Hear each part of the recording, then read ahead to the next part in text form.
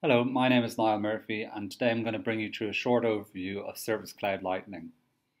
We're going to start the journey as a customer, Lauren Boyle, for a fictitious company, Cirrus Energy. So Lauren is a long-time customer of Cirrus Energy and she's looking for shipping information to return a damaged wind turbine. So she Googles uh, Cirrus Energy and she finds her way to their self-service community site. The Cirrus community makes it easy for customers like Lauren to quickly find answers to their own questions, engage in discussions with other community members, and if she's unable to find the help that she needs, she can contact support directly, all from this unified experience. And with Salesforce Lightning, the experience is fast and easy to get up and running.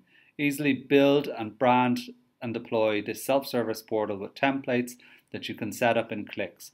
Drag and drop any components to customize and even embed business process inside this experience.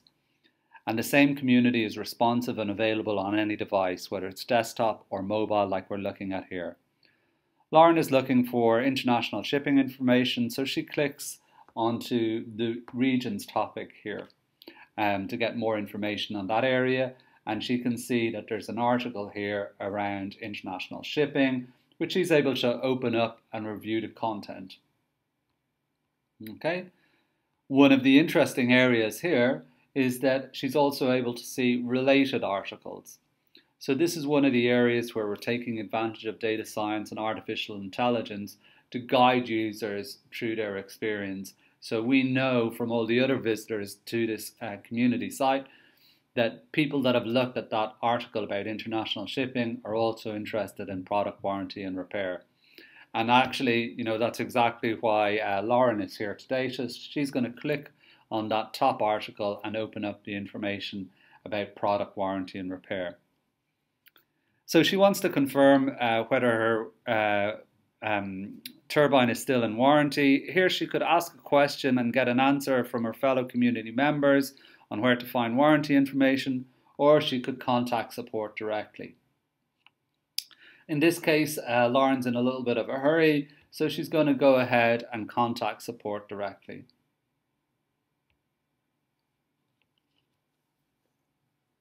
Okay, so she's going to select um, the product category, fill in some details,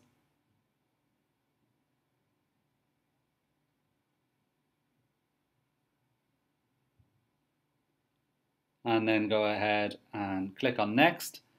Um, when she does that, before her case gets submitted, she's prompted for um, uh, one last check of the knowledge articles. And this is done intelligently using the information that she's uh, filled in on the previous form.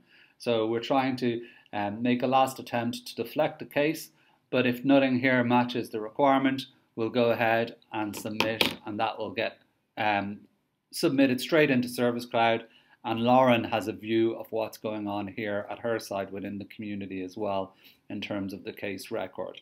And of course, you can control what information that Lauren has access to here in terms of the case record. We're now going to switch gears and I've logged in as Stephen Service into the Lightning Service Cloud console. So the Lightning Service console has been built with, from the,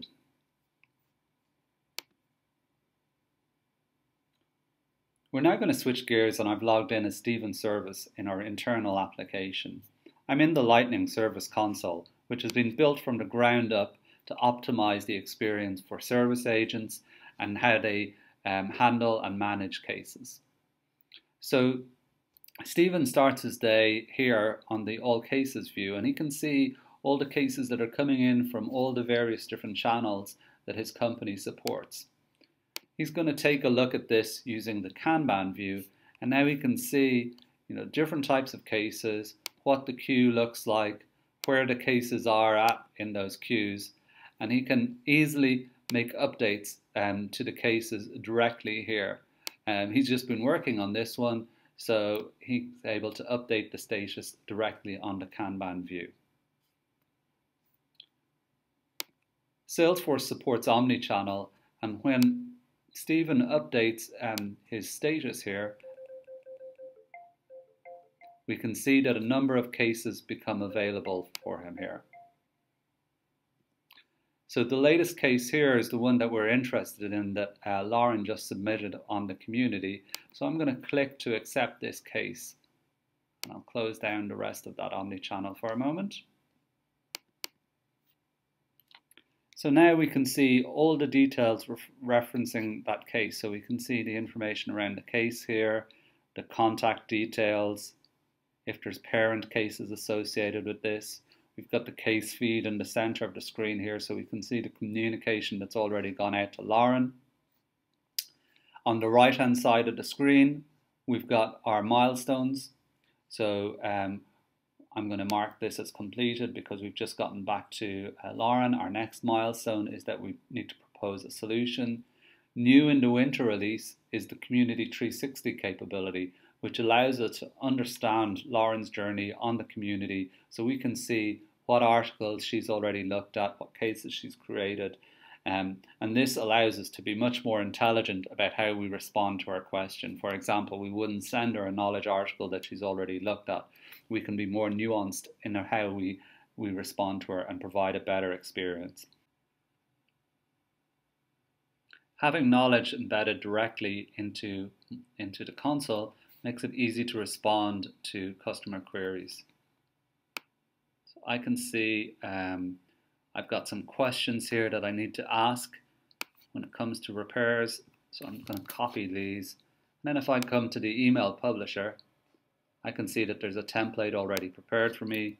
I'm going to pop in those questions, send them to the customer, So we can see now the full history of the interactions against this case. Stephen is all into productivity, so he's going to take advantage of macros here to update the last few pieces of information on the case and close out um, this particular case.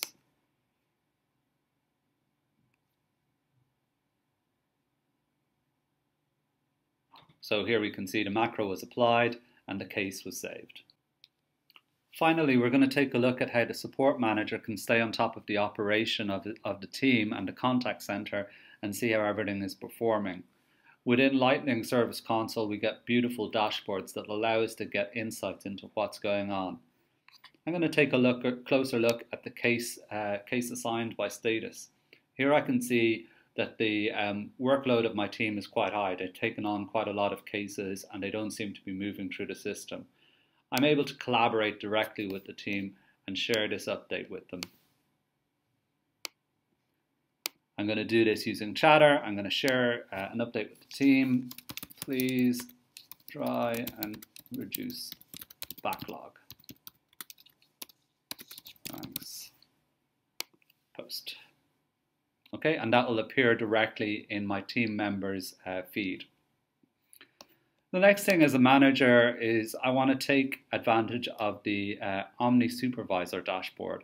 So different to the, the um, dashboards that we're looking at here, this is more a real-time operational view of the, the contact center.